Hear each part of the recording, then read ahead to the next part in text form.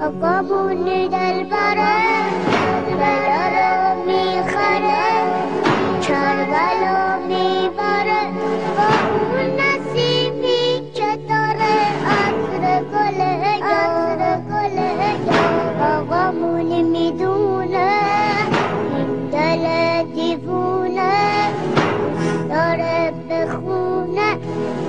تحسين عماءه العادون ولا يؤدي حقه المجتهدون الذي لا يدركه بعد الهمم ولا يناله غوص الفطن الذي ليس لصفته حد محدود ولا نعت موجود ولا وقت معدود ولا أجل ممدود فطر الخلائق بقدرته ونشر الرياح برحمته ووتد بالصخور ميدان أرضه.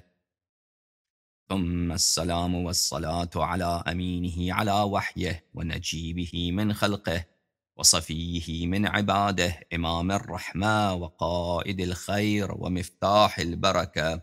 سيدنا ونبينا أبي القاسم المصطفى محمد الذي بلغ الرسالة صادعا بها. وحمل على المحجة دالا عليها وعلى أهل بيته الطيبين الطاهرين الذين أذهب الله عنهم الرجس وطهرهم تطهيرا. ولا سيما بقية الله في الأرضين وحجته في العالمين. روحي وأرواح العالمين لتراب مقدمه فداء. واللعن الدائم على أعدائهم وغاصبي حقوقهم وجاحدي مناقبهم ومنكري فضائلهم. من الآن إلى أبد الآبدين. فأعوذ بالله من الشيطان الرجيم. بسم الله الرحمن الرحيم. وما أفاء الله على رسوله منهم فما أوجفتم عليه من خيل ولا ركاب. ولكن الله يسلط رسله على من يشاء والله على كل شيء قدير. صدق الله العلي العظيم. اللهم صل على محمد وآل محمد.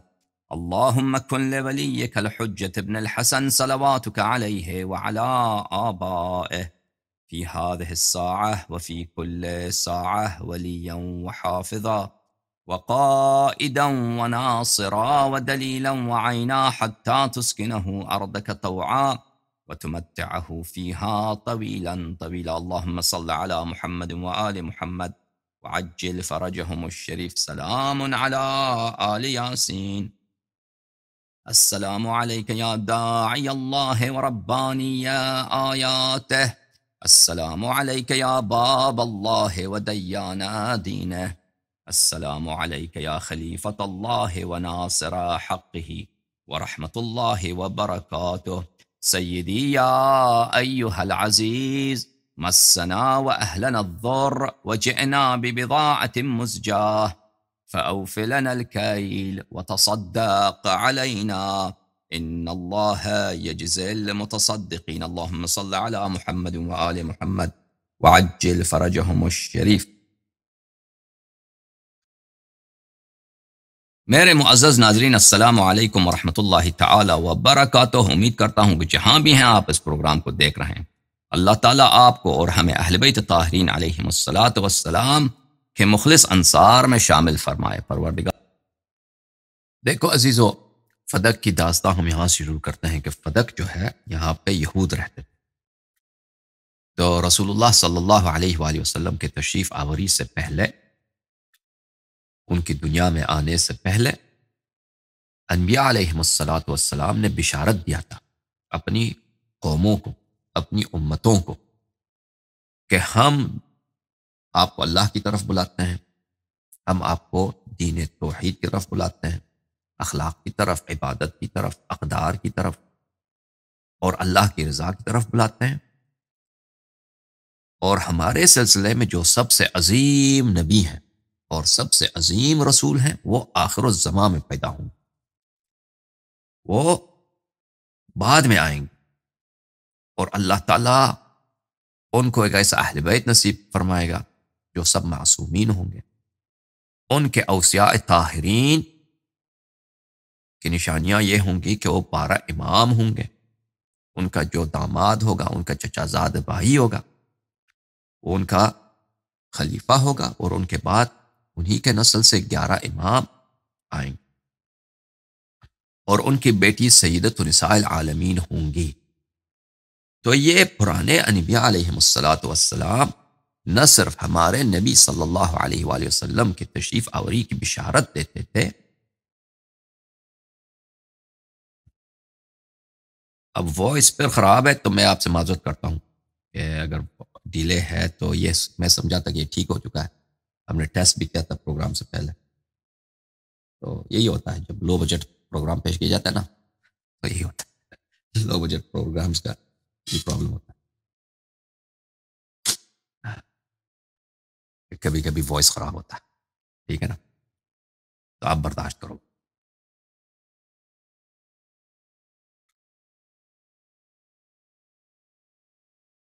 تو وہ بشارت دیتے تھے۔ تو ہاں، اور یہ اس کی روایات ہمارے پاس موجود ہیں۔ اور اس کی قرآن مجید میں اس کی آیات کہ کیسے وہ چھپاتے تھے بنی اسرائیل۔ فویل للذین یکتمون فویل للذین یکتمون بلی ان الذين يكتمون ما انزلنا من البينات والهدى من بعد ما بيناه للناس في الكتاب۔ اولئك يلعنهم الله ويلعنهم اللاعنون۔ کہ یہ نبی کریم صلی اللہ علیہ وسلم کی جو نشانیاں اور بشارتیں انبیاء نے دی ہیں، اور لوگ اس کو چھپاتے ہیں، اور لوگ اس کو اس کو مخفی رکھتے ہیں، تو اللہ کی ان پر لانت ہے۔ اللہ تعالیٰ کی ان پر کیا ہے؟ لانت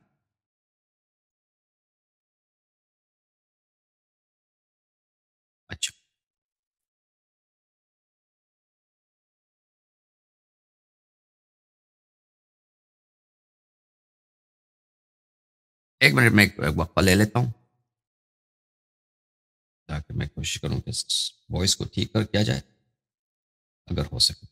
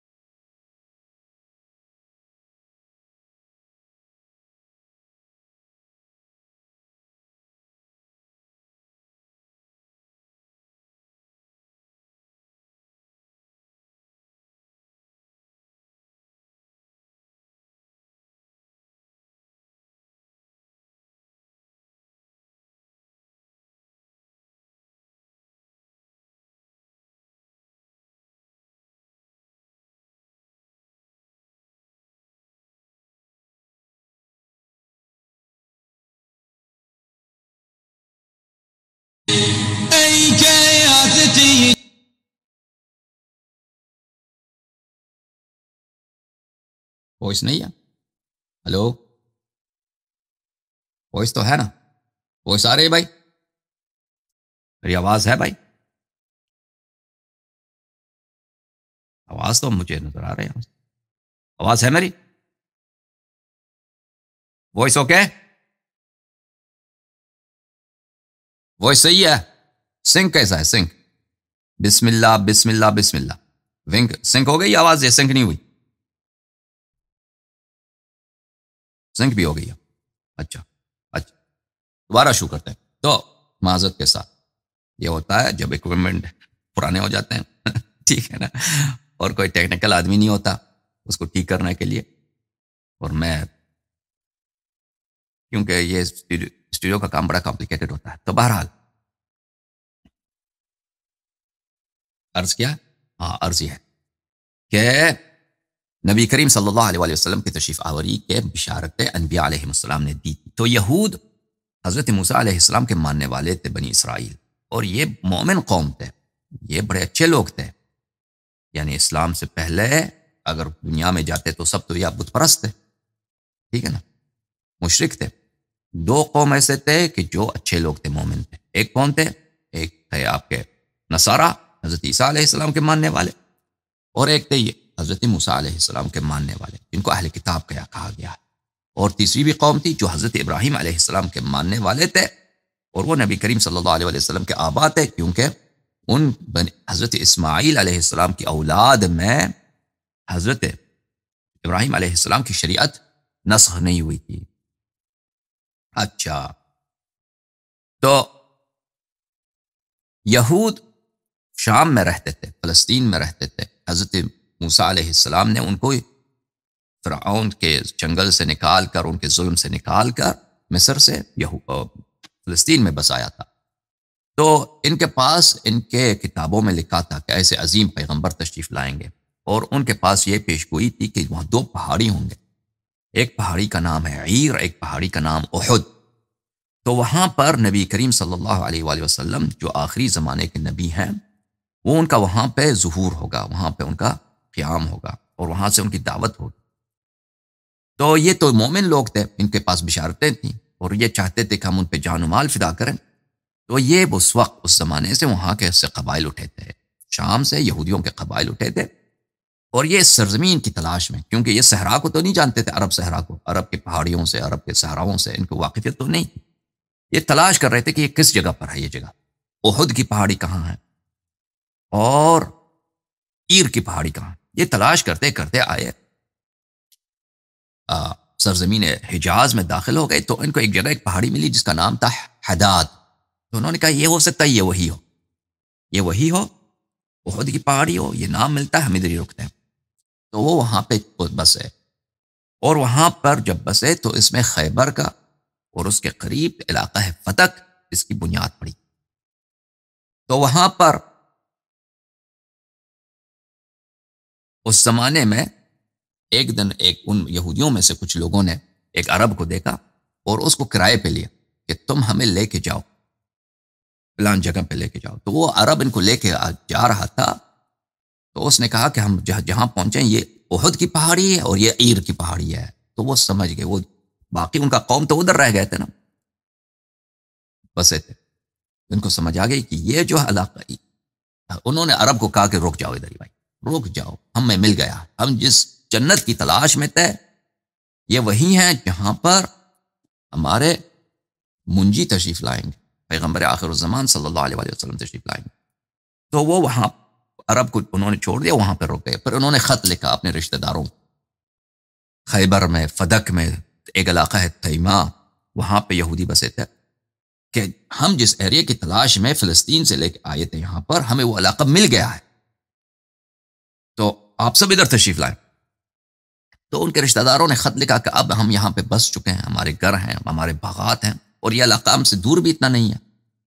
ہم خیبر میں ہیں، آپ ایک دو دن کا راستہ ہے۔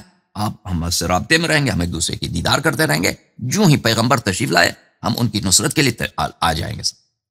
تو یہ یہودیوں کی اصل ہے جزیرت العرب میں۔ اور مدینہ منورہ میں جو یہودی بسے تھے، بنی قریضہ اور بنی نذیر، ان کی آغاز یہاں سے ہوئی۔ اور یہ یمن میں بعد میں ایک بادشاہ پیدا ہوا، اس بادشاہ کا نام تھا تھبا یہ بادشاہ تھبا جو تھا، اس کو پتہ چل گیا کہ یہاں پہ عرب کی سرزمین میں کچھ یہودی رہتے ہیں۔ ان کے پاس بڑے پیسے آ گئے ہیں، تو اس نے ان کو تنگ کرنا شروع کیا، لشکر لے کے آیا۔ اور یہودی کیونکہ خیبر میں، فدق میں، حصول میں رہتے تھے، قلعوں میں رہتے تھے، تو اس نے ان کا محاصرہ کیا۔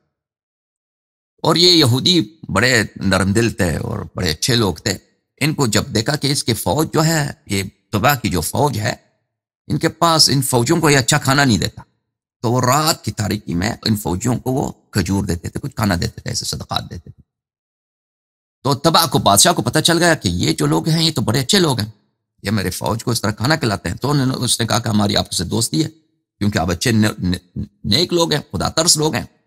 تو ہم آپ سے نہیں لڑتے تو آپ بتائیں کہ ادھر آئے کیوں آپ لوگ؟ آپ کا تو اثر سرزمین شام میں ہے ادھر۔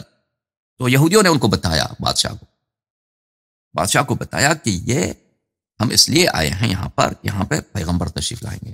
ہم ان کی انتظار میں حضرت موسیٰ علیہ السلام نے نشانیاں بتائی ہیں، حضرت یوسف علیہ السلام نے نشانیاں بتائی ہیں، حضرت عزیر علیہ السلام نے نشانیاں بتائی ہیں، حضرت یعقوب علیہ السلام نے نشانیاں بتائی ہیں۔ انہوں نے ہمیں تاکید کیا، ایک پیغمبر یہاں پہ تشریف لائیں گے عرب میں، اس سرزمین میں۔ دو پہاڑیوں کے درمیان، عیر اور احد کے پہاڑیوں کے درمیان۔ تو ہمیں ان کی، ان پر ایمان لانے کی، ایمان لانے کا فریضہ ہے اور ان کی نصرت کا فریضہ ہے۔ تو ہم اس لیے یہاں پہ آئے۔ تو اس بادشاہ نے کہا، یہ تو بہت اچھی بات ہے۔ اگر وہ پیغمبر تشریف لاتے ہیں تو میں بھی ان کی نصرت کروں تو اس نے کہا کہ میں اپنے کچھ یہاں پہ، کچھ سپاہیوں کو یہاں پہ رکھتا ہوں آپ کے ساتھ۔ تو اس نے مدینے میں اپنے کچھ سپاہیوں کو رکھا اور وہ اس سے قبیلے خزرج اور قبیلے اوس اس کی آغاز ہو گئی، جو انصار کے قبائل تھے۔ اور پھر یہ وقت گزرتا گیا، یہ ان لوگوں کی آبادی بڑھ گئی اور یہ جو اوس اور خزرج کے جو لوگ تھے، یہ یہودیوں پہ ظلم کرتے تھے۔ کیونکہ یہ تو بت پرست تھے اور یہودی تو مسلمان تھے، مومن تھے۔ وہ اپنی شریعت کے پابند تھے سو مسلات کے پابند تھے۔ شریعت ان کے بھی نسخ نہیں ہوئی تھی، تو یہ ظلم کرتے تھے ان پر۔ ان کے اموال اٹھاتے تھے۔ لیکن یہود ان کو کہتے تھے کہ تم ابھی ہم پہ ظلم کرتے ہو۔ لیکن ہم ہم آپ کو بتاتے ہیں کہ ہماری فتح تم پر ہوگی یہود عربوں کو کہتے تھے۔ کہ ہم تم پہ فتح کریں گے کیونکہ پیغمبر جب آئیں گے ہم ان ان کی بدولت ان کی نصرت کریں گے اور وہ آپ سب ہم آ, ہماری اتباع کریں گے۔ کیونکہ وہ وہ سمجھتے تھے کہ یہ پیغمبر بھی ظاہر مثلا ان کے سپورٹ یہودیوں کی سپورٹ کرے گا وہ اس طرح۔ تو یہ قرآن میں آیت ہے ملاحظہ فرما یہ قرآن مجید فرقان حمید میں آیت ہے۔ آیا ہے سورہ مبارک بقرہ میں سورہ مبارک بقرہ میں۔ آیا یہ ہے آیا نمبر نواسی ہے۔ اس میں ارشاد رب العزت ہے، ولما جاءهم كتاب من عند الله مصدق لما معهم۔ یہ جو یہودی ہیں، یہ تو نبی کریم صلی اللہ علیہ وسلم کی بشارت کی وجہ سے، ان کی خوشخبری کی وجہ سے، ان کی نصرت کے لیے آئے تھے۔ شام سے مدینہ آئے تھے۔ اور شام سے جزیرت العرب میں فدق میں بسے ہیں خیبر میں بسے ہیں، تیمہ میں بسے ہیں۔ جب اللہ کی جانب سے کتاب آیا، مصدق الامام یہ کتاب ایسی کتاب کہ قرآن مجید تورات کو جٹلاتی نہیں کہ تورات جھوٹ ہے، بلکہ تورات کی تصدیق کرتی ہے واقع تورات اللہ کی جانب سے نور ہے، ہدایت ہے۔ ٹھیک ہے نا؟ ان کے دین کی تائید کیا وَكَانُوا مِن قَبْلُ يَسْتَفْتِحُونَ عَلَى الَّذِينَ كَفَرُوا۔ اور یہ یہودی، ان کا انداز یہ تھا، ان کا کام یہ تھا کہ سابقاً یستفتحون یہ اپنی فتح کی خبر دیتے تھے۔ عربوں سے جب ان کا جھگڑا ہوتا تھا، عرب ان کا مال چینتے تھے، ان کو مارتے تھے، تو یہ کہتے تھے کہ تم انتظار کرو ہاں فتح ہماری ہوگی، ٹھیک ہے نا؟ کفار پر وہ اپنی فتح کی خبر دیتے تھے۔ کفار کون ہے؟ مدینے میں بسنے والے جو عرب ہیں، اوس و خزرج فلما جاءهم ما عرفوا۔ اب کیا ہوا؟ پیغمبر صلی اللہ علیہ وسلم تشریف لائے۔ فلما جاءهم تشریف لائے۔ ما عرفوا۔ وہ نبی وہ نبی ما عرفوا۔ اس نبی کو پہچان گئے۔ خوب پہچان گئے۔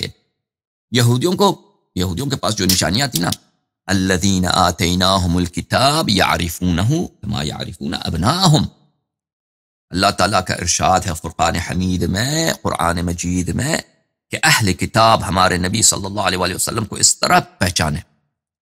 نشانیاں ان کے پاس، اتنی واضح نشانیاں بشارتیں تھیں کہ جس طرح آپ اپنے بیٹے کو جانتے آپ کا بیٹا آپ اس کو کنفیوز کر سکتے ہیں کسی اور سے یہ وہ آپ کا بیٹا یا کوئی اور ہے؟ نہیں، اپنے بیٹے کو ہر ایک جانتا ہے، ٹھیک ہے نا؟ آپ کا جو بیٹا ہے، اس کی آواز جانتے ہیں، اس کا قد و قامت جانتے ہیں، اس کے چہرے سے، اس کے، بلکہ اس کے بو سے، اس کے کپڑے پہننے انداز سے بار طرح سے اس کو جانتے ہیں آپ۔ وہ کبھی کنفیوز نہیں ہوتے آپ۔ ایک مجمع ہے، آپ کا بیٹا کون؟ ان میں دس آدمی ہے بیس آدمی ہے آپ کا بیٹا ان میں سے کون؟ پتا چلتا ہے نا، وہ آپ کو پتا ہوتا ہے کہ کون۔ تو اہل کتاب ہمارے نبی صلی اللہ علیہ وسلم کو اس طرح پہچان گئے۔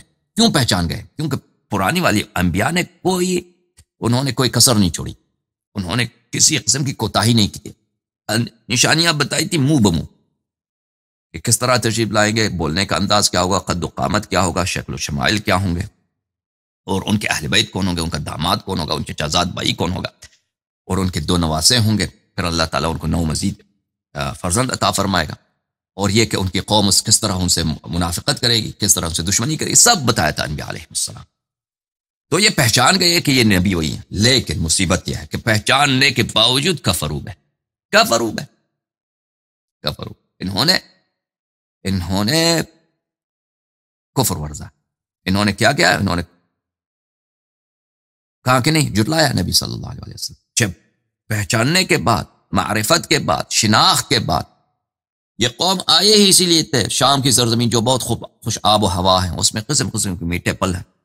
ٹھیک ہے نا بہترین دنیا کے بہترین علاقوں میں سے آب و ہوا کے لحاظ سے شامات کا علاقہ لبنان جو ہے آپ کا، یہ جو فلسطین ہے یہ آپ کے دمشق ہے، یہ آب و ہوا کے لحاظ سے دنیا کے بہترین علاقوں میں اس کا شمار ہو۔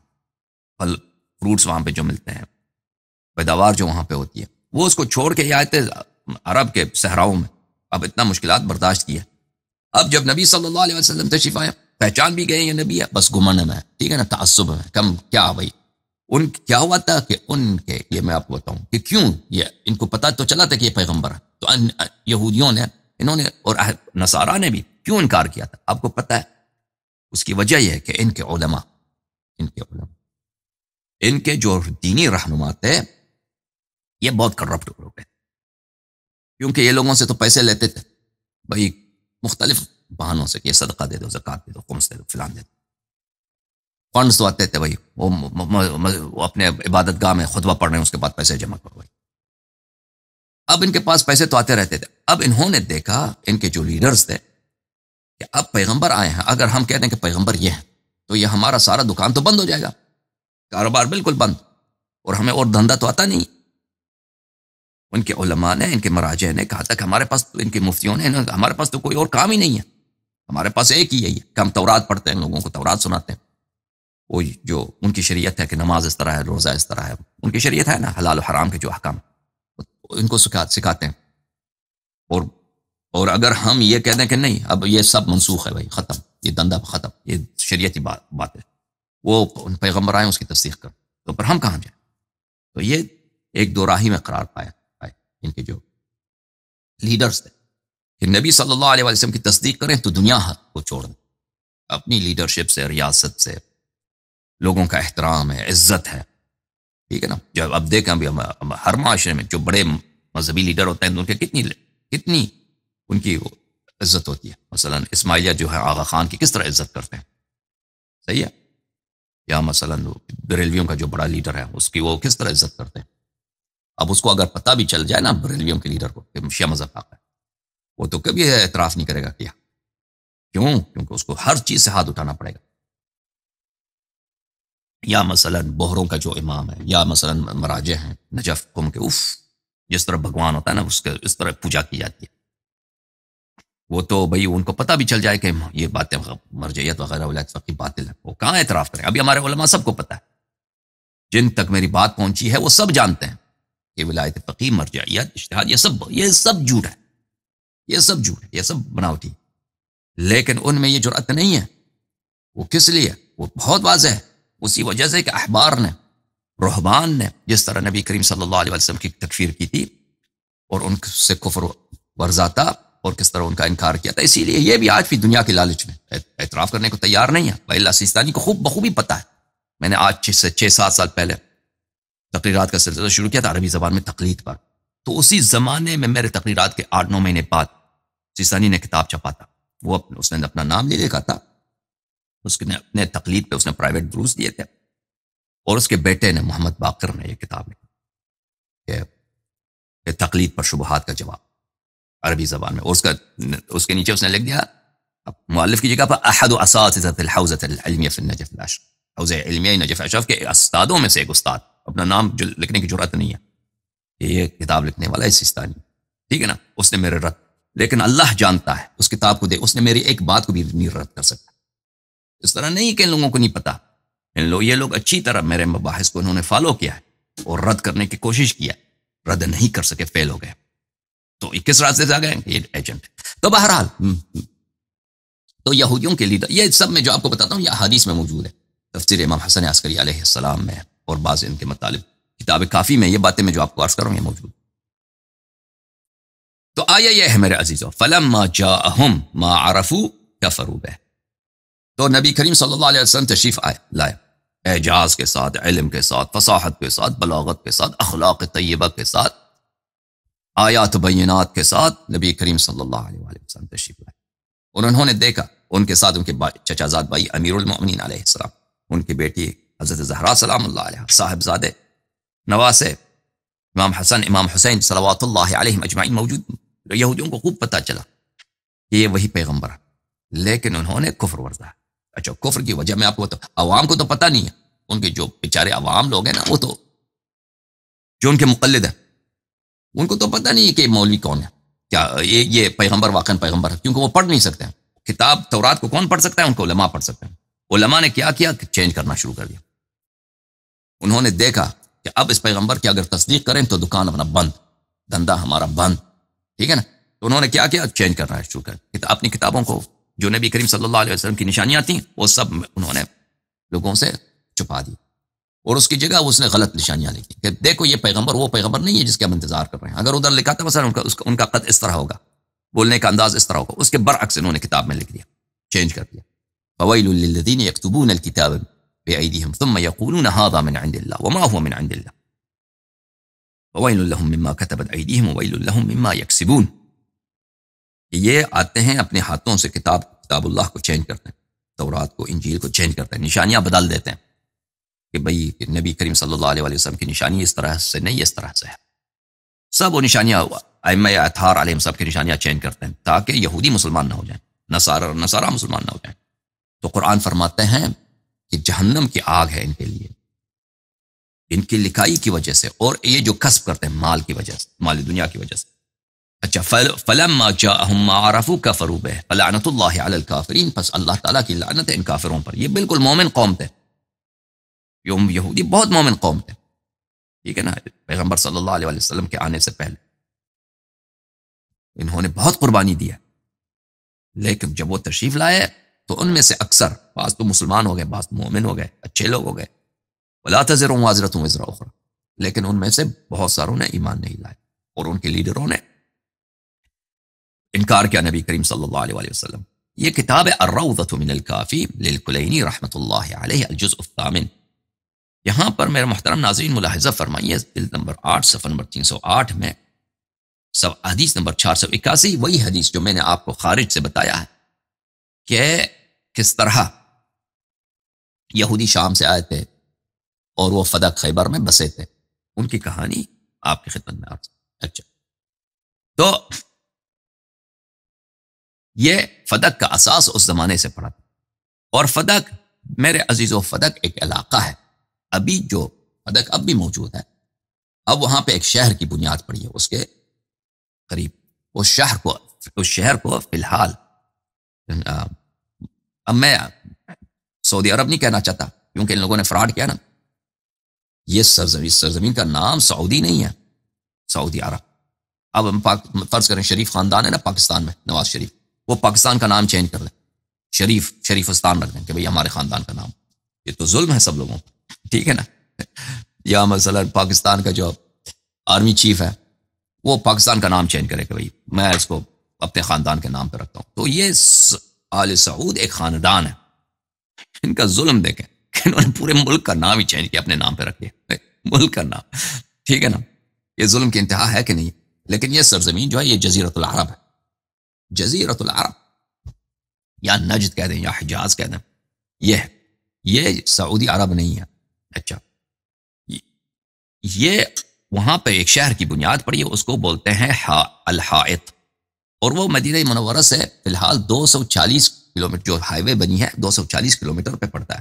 ملاحظہ فرمائیے، یہ ہے گوگل میپس گوگل میپس میں اگر آپ دیکھیں مدینہ منورہ سے، اس کو ہاں یہ مدینہ منورہ ہے۔ تو یہاں پر اللہ، یہ حائط ہے اور یہ ہے مدینہ منورہ۔ یہ مثلا گاڑی میں آپ چاہیں شاید دو تین گھنٹے کا راستہ ہے۔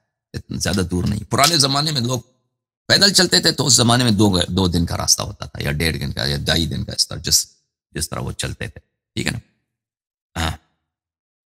یہ میپ جو ہے، حائط کا قریب سے اگر وہاں پہ دیں گے تو وہاں پر گوگل میں بھی آتا ہے۔ الحائط یہ الحائط ہے، تو اس میں آپ اگر سرچ کریں الحائط میں وہاں پہ فدق بھی آ جاتا ہے۔ اور اس میں گوگل میں اس کے کچھ تصاویر بھی ہیں۔ وہ اس علاقے کے۔ اب جو ہے نا، اب ہمارے زمانے میں یہاں پہ نخل، نخلستان جو ہے وہ خشک ہو گئے پچھلے چالیس، پچاس سال میں۔ اب اس کی وجہ شاید مثلا سعودی گورنمنٹ نہیں چاہتے تھے کہ یہاں پہ وہ نخلستان جو پرانے تھے وہ باقی رہیں۔ لیکن اس سے پہلے یہاں پہ نخلستان، کیونکہ وہاں پہ پانی کی بہت کثرت ہے۔ فدق کے سرزمین میں پانی کی بہت کثرت ہے۔ اور اس لیے وہاں پہ نخلستان بہت زیادہ ہوتے تھے۔ کیونکہ وہاں جزیرت العرب میں عمدہ جو پیداوار ہے وہی کھجور کی ہوتی۔ تو وہاں پہ نخل بہت ہوتے تھے۔ اب فی الحال جو ہے، اغلب اس کے نخلستان خشک ہو گئے۔ یہ ملاحظہ فرمائیں، یہ سرزمین ہے، حائط کے کچھ تصاویر ہیں جو گوگل میں ہیں۔ وہ خیبر بھی وہیں پہ پڑتا ہے، فدق بھی وہی پڑتا ہے۔ ان کے درمیان کچھ فاصلہ ہے۔ فدق اور خیبر ساتھ نہیں ہے لیکن ان کے درمیان کچھ فاصلہ ہے۔ تو آپ اس سب کو گوگل میں دیکھ سکتے ہیں۔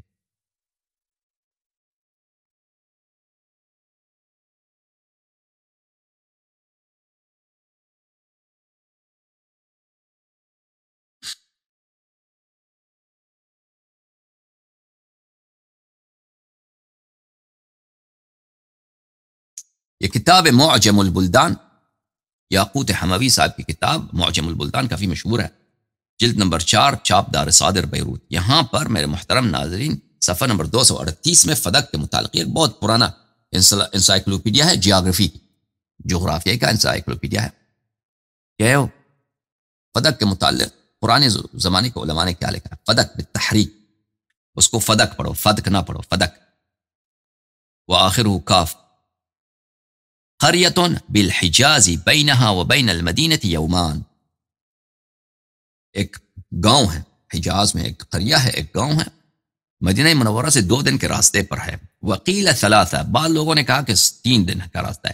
افا اللہ علی رسول ہی صلی اللہ علیہ وسلم، صلی اللہ علیہ وآلہ وسلم۔ اللہ نے اس کو عطا کیا۔ افا اللہ اللہ نے عطا کیا۔ اس کو کس کو عطا کیا؟ نبی پاک صلی اللہ علیہ وسلم کو عطا کیا۔ اور ہم آپ کو بتائیں گے کہ نبی کریم صلی اللہ علیہ وسلم کا مل کے تلق خالص پراپرٹی یعنی شخصی جو پراپرٹی ہوتی ہے نا آپ کی، آپ جا کے کام کریں، پیسے کمائیں، پیسوں سے ایک پین خرید لیں۔ آپ نے کام کیا۔ ایک دن، ٹھیک ہے نا؟ آپ کو وہاں پہ ہزار روپیہ اس وہاں پہ دے دیا کسی نے۔ آپ نے ہزار روپے لے کے گئے وہاں پہ اسٹیشنری کے مارکیٹ میں، وہاں پہ ایک اچھا پین خرید لیا۔ تو یہ آپ کا پیسہ ہے۔ آپ نے کمایا اس کو، کسی اور کا، اس میں حق نہیں ہے۔ تو اسی طرح نبی کریم، یہ فدق جو ہے نبی کریم صلی اللہ علیہ وسلم کا مل کے خاص تھا، ان کا خالص، ان کا، اس میں کسی کی شراکت نہیں۔ پھر انہوں نے اپنی حیات طیبہ میں، انہوں نے اس ملک کی ملکیت منتقل کی تھی زہرا سلام اللہ علیہ کو۔ ان کو مالک بنا دیا تھا اور ان کو بخشا تھا۔ تو یہ سب باتیں آ جائیں گی انشاءاللہ تبارک و فی سنت سبعت سلحان صلح کی وجہ سے جنگ میں نہیں، صلح میں ٹریٹی میں، یہودیوں نے اس کو بھائی کہا تھا کہ آپ ہمیں قتل نہ کر دیں، ہم آپ کو یہ دے دیتے وذلك أن النبي صلى الله عليه وآله وسلم لما نزل خيبر وفتح حصونها ولم يبقى إلا ثلاث واشتد بهم الحصار، راسلوا رسول الله صلى الله عليه وآله وسلم.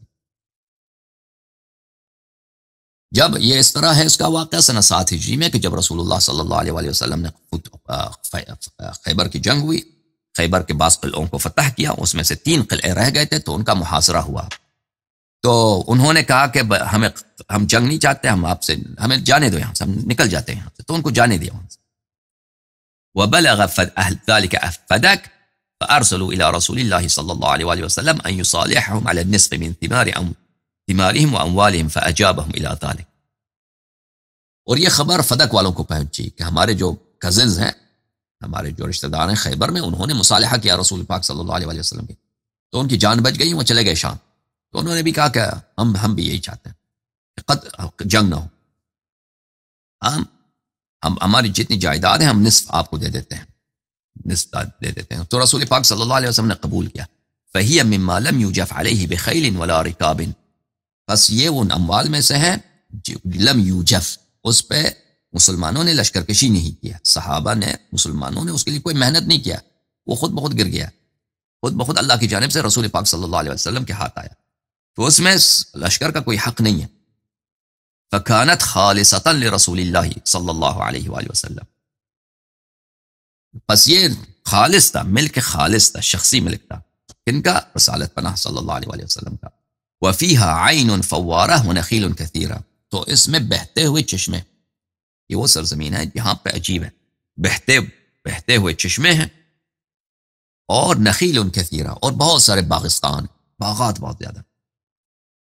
وهي التي قالت فاطمة رضي الله عنها إن رسول الله صلى الله عليه وآله وسلم نحلنيها.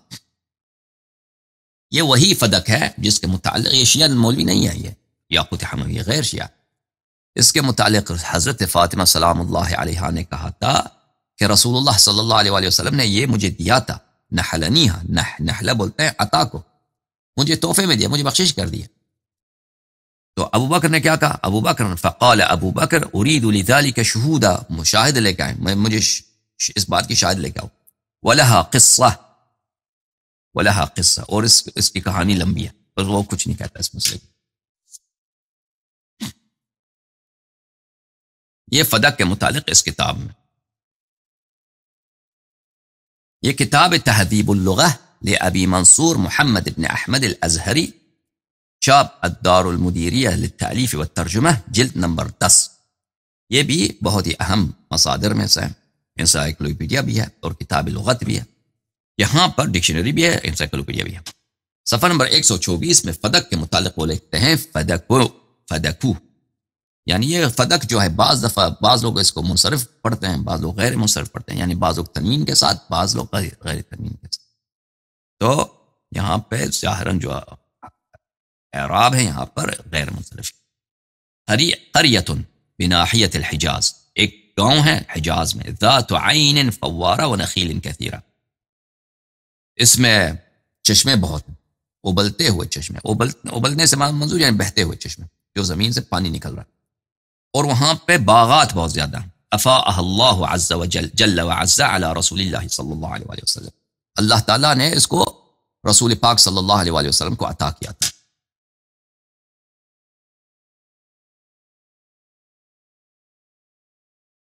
الروض المعتار في خبر الأقطار معجم جغرافي, جغرافي تاليف محمد بن عبد المنعم الحميري